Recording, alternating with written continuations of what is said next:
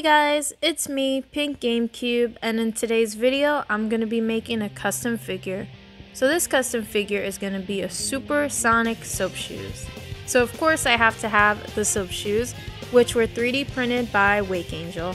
You're probably wondering why I didn't just 3D print these myself since I have a 3D printer, well, my 3D printer has been really weird lately and I haven't been able to fix it yet, so Wake Angel was sweet enough to 3D print these for me. He also 3D printed me a little froggy. So the base figure is going to be a supersonic, of course, but I'm not going to be using his head just because his spike shape isn't what I'm looking for. So funny enough, in the original Sonic Adventure 1 and 2 games, Sonic's quills were actually just shaped like shadows when he became supersonic. So since I'm going for that adventure style of supersonic, I thought it would only make sense to use Shadow's head.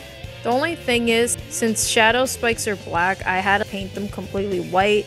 It took like at least 10 coats to get it a solid color. This way when I do paint his spikes yellow, you won't see the black underneath.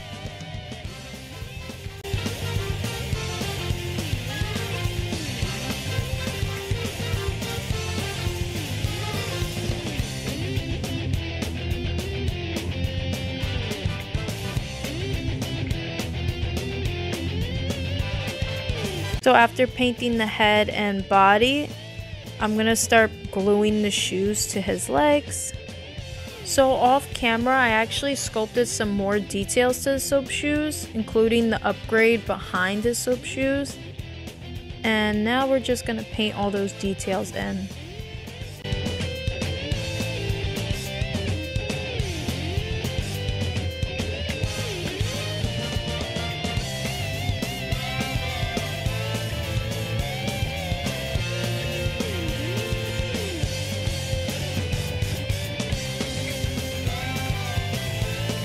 Wanted to try something new with this custom and it was adding elbow joints. Got this idea from a YouTuber. He usually does this to most of his figures and I thought it was a really cool and smart idea. Links will be in the description. And yeah, I got the drill and everything and I'm just gonna wing this. I've never done this before so, you know, bear with me.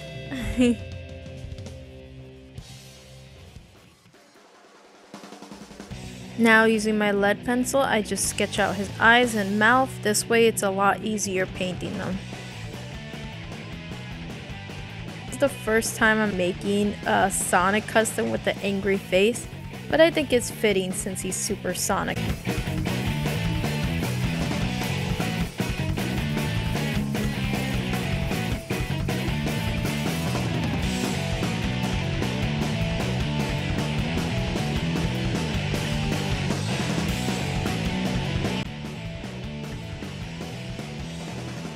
Another thing I did off camera was sculpt his upgrades on both wrists.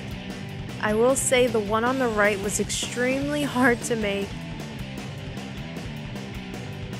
So once I'm done painting the figure, I'm going to take him outside and spray him with some primer. And then after that, the figure is complete. I really love this figure. I think he came out pretty good. This is my first time giving elbow joints to a figure. So I think I did a pretty okay job.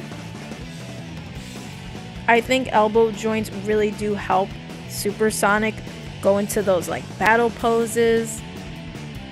And overall just gives him a huge range of movement. I had so much fun making this custom. Now that I made the Supersonic though, I feel like I just have to make a Super Shadow fully upgraded in the Sonic Adventure art style. If you guys think that's a good idea, please let me know down in the comments. Or if you have any other ideas, again, let me know in the comments. I love hearing all the cool ideas you guys come up with.